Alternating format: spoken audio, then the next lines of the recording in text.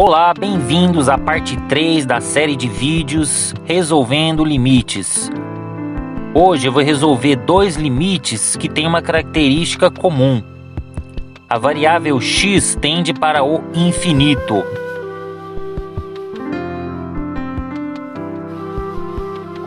Vamos começar com esse limite aqui. 3x ao quadrado mais 4x mais 6 sobre 9x ao quadrado menos 7x menos 2 quando x tende para o infinito. Como vocês já sabem, a primeira coisa que a gente faz é substituir o valor de x, no caso aqui, infinito. Lembrando que infinito não é um número, ele é utilizado apenas para mostrar o comportamento de uma função. Substituindo ali então x igual a infinito, no numerador e no denominador, a gente vai ver que vai dar uma indeterminação. Vai dar infinito sobre infinito, porque infinito ao quadrado é infinito. Vezes 3, infinito. 4 vezes infinito, tal. Embaixo, mesma coisa. Então vai dar infinito sobre infinito. Bom, para resolver esse tipo de limite, a gente tem que lembrar do seguinte teorema. Seja Q um número racional positivo e R um número real qualquer. Então, o limite de R sobre x elevado a Q, quando x tende ao infinito, é igual a zero.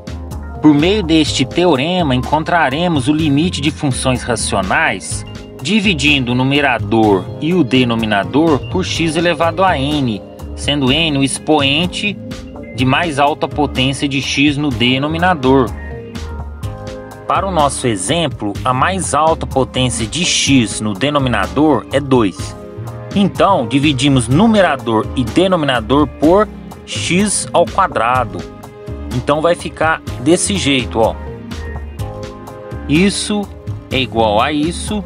Posso fazer utilizando as propriedades dos limites.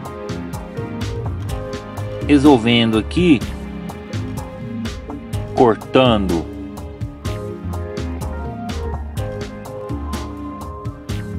À medida que o valor de x aumenta, a fração tende para zero.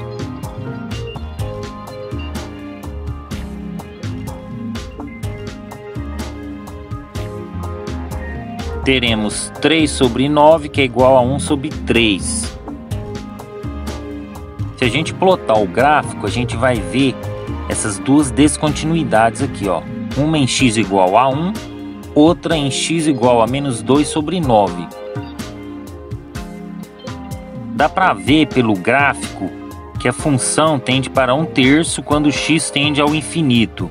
E se a gente plotar o gráfico de f de x igual a 1 terço, obviamente teremos uma função constante.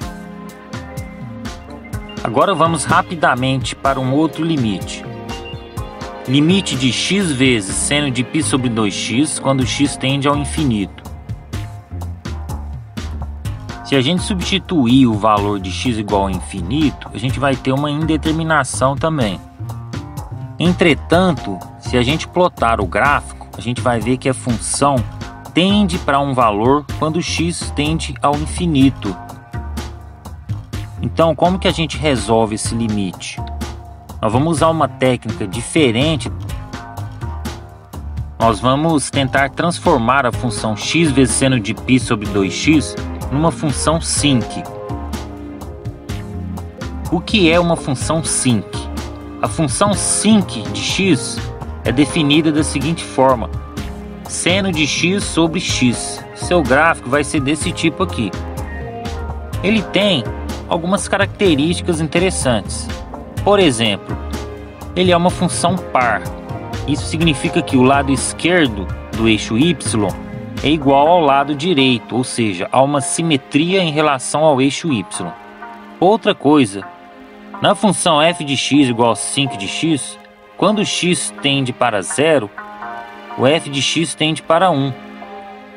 Por quê? Utilizando a regra de L'Hopital, derivamos o numerador e o denominador. Se você ainda não viu derivadas, não se preocupe, isso será assunto de outros vídeos. Por enquanto, eu estou utilizando derivadas apenas para mostrar por que a função f de x igual a 5 de x tende para 1 quando x tende para 0. Então, derivando em cima e embaixo, vai ficar derivada de seno de x, cosseno de x.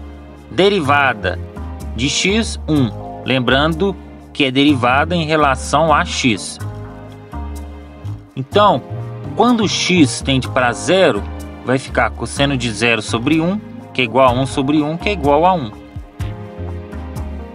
Só uma curiosidade aqui, a função SYNC é muito utilizada em engenharia, principalmente em telecomunicações. Por exemplo, quando um roteador envia pela rede um sinal no formato de uma onda quadrada, de acordo com a codificação binária, seu espectro de frequência será uma onda SYNC, ou, dizendo matematicamente, a transformada de Fourier de uma onda retangular é uma função SYNC. A largura do retângulo é tal domínio do tempo, domínio da frequência. Voltando ao limite, como transformar a função x vezes seno de π sobre 2x numa função sinc? Multiplico o numerador e o denominador por 2 sobre π. Rearranjamos os termos.